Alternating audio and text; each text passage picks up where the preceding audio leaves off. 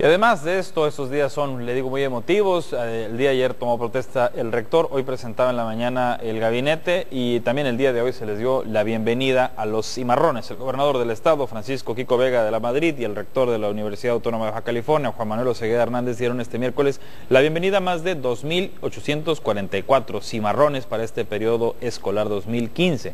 En el estado son más de 8.000 estudiantes de nuevo ingreso que van a empezar sus clases a partir del martes que viene, 3 de febrero.